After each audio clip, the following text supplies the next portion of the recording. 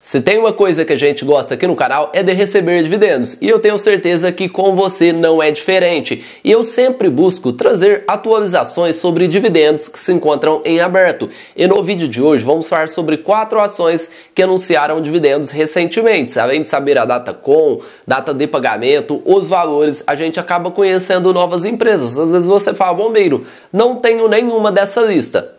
É bom você acompanhar esse vídeo, pois você pode conhecer boas pagadoras de dividendos. E vamos falar sobre esses valores e também sobre alguns pontos importantes sobre essas quatro empresas. E a primeira empresa será a Home 3. Como se trata de um juro sobre capital próprio, o valor bruto será de 23 centavos por ação. Porém, existe a incidência de 15% de imposto de renda que é retido na fonte. E o valor líquido que irá cair na conta do acionista é de 19 centavos por ação, o que na cotação atual representa um yield de 1,12. Para ter direito a esse juro juros sobre capital próprio, a data com é o dia 20 de 3 de 2023. Essa é a data que, se você dormir com as ações em carteira, você garante o direito a receber esse dividendo, que será pago no dia 26 de 4 de 2023. Ela é uma empresa que fez o seu dever de casa, saiu do prejuízo para um excelente crescimento de lucros, ela conseguiu dar a volta por cima e não é à toa que as suas cotações apresentaram um excelente crescimento a partir desse momento da sua reestruturação,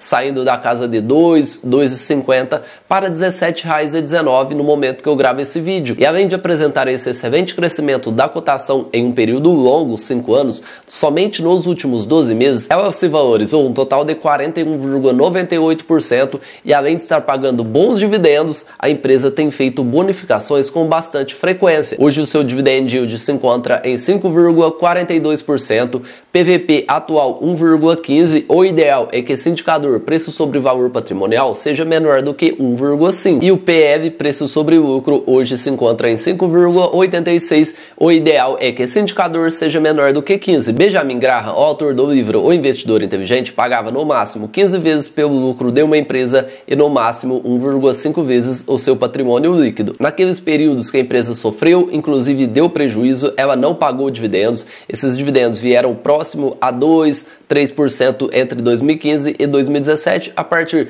do momento que os seus lucros voltaram a crescer, consequentemente, ela voltou a pagar bons dividendos e fazer bonificações. E não é à toa que, se a gente pegar o dividend yield médio dos últimos 5 anos, ela se encontra com 10,76%. O ideal é que o dividend yield médio seja acima de 6% e a Home 3 se encontra bem acima do que consideramos o ideal. A próxima empresa que anunciou um JCP é a Vivid 3, um valor de 17 centavos centavos por ação e o valor líquido que irá cair na conta do acionista é de 14 centavos. Com esse valor anunciado, ela se encontra com dois dividendos em aberto. Eu vou mostrar esse atual que ela acabou de anunciar recentemente e posteriormente o seu outro valor, que representa um yield muito superior a esses 0,36% na cotação atual. Para ter direito a esses 14 centavos, a data com é o dia 31 do 3 e ele será pago até 30 do 4 de 2024. Essa é a parte ruim da Vivid 3, ela acaba demorando muito a pagar os seus valores anunciados.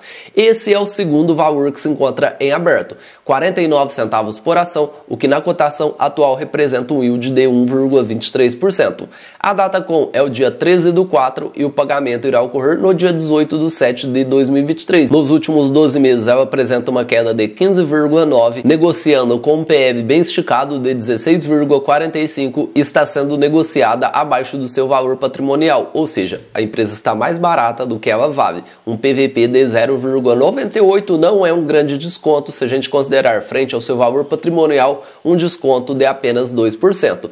Dividend yield atual 7,14. A Vivid 3 se trata de uma das maiores vacas leiteiras da bolsa com um alto payout histórico. Não temos dúvida que ela é uma boa pagadora de dividendos e o que você precisa saber é o que eu citei anteriormente, que ela demora muito a pagar os seus dividendos. Ou seja, tenha consciência que caso você decida entrar em Vivid 3, provavelmente esses dividendos que serão anunciados em 2023 só serão pagos em 2024. Quase aconteceu um mega dividendo nesse vídeo da Land 3, a Terra Santa, que anunciou um total de R$ 1,35 por ação. Porém, esse valor será dividido em dois. O primeiro pagamento irá ocorrer no dia 28 de 3 de 2023, um total de 88 centavos por ação e o segundo pagamento irá ocorrer no dia 5 de 5 de 2023 e será um total de 47 centavos. E se a gente somar esses dois valores, eles representam um total de 1,35 por ação, o que na cotação atual R$ 29,52 representa um yield de 4,58%.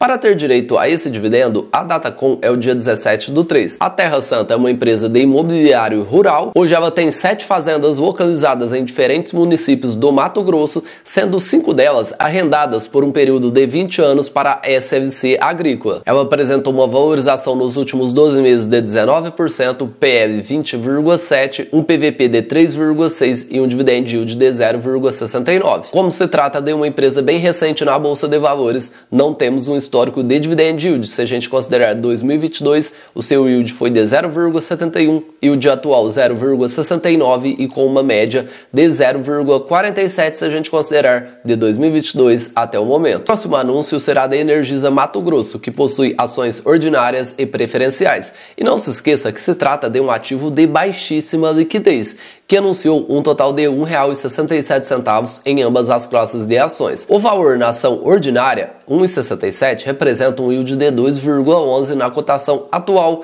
e na sua ação preferencial representa um yield de 2,02. A data com para ter direito a esse dividendo é o dia 20 do 3 e o pagamento irá ocorrer no dia 29 do 3 de 2023. Energisa Mato Grosso, nos últimos 12 meses, apresentou uma valorização de 3,35, hoje se encontra com um PL bem esticado de 14,31 e um PVP de 5,07 e se encontra com um dividend yield de 4,47%. E será que a empresa possui um bom histórico de dividend yield? Vamos pegar a sua média histórica, considerando de 2013 até o momento. Mesmo se tratando de uma elétrica, notem a grande volatilidade dos seus dividendos nesse período, considerando de 2013 até o momento. Chegou a operar com yield próximo a 10% no ano de 2018, depois disso apresentou uma queda bem expressiva, um dividendo praticamente montanha russa com uma média de 2013 até o momento de 2,76%. Mesmo se tratando de uma elétrica, ela não possui um bom histórico de dividend yield. E deixe nos comentários se você tem alguma dessas quatro empresas na sua carteira. Vivid 3, uma das maiores vacas leiteiras da bolsa. Home, uma empresa que saiu do prejuízo para lucros, lucros bem parrudos, pagando dividendos, fazendo grandes bonificações. E também a Terra Santa, uma empresa pouco falada. Confesso para vocês que acho que eu nunca tinha ouvido falar sobre esse ativo que está com quase quase mega dividendo em aberto e a Energisa Mato Grosso, que é uma empresa de baixa liquidez. Muito cuidado ao comprar uma empresa apenas para receber o dividendo e depois vender, pois na data X o valor do dividendo e juros sobre capital próprio é descontado da cotação e por isso sempre buscamos ter boas empresas em carteira e o dividendo, é lógico, é sempre consequência. Um abraço a todos e bons investimentos.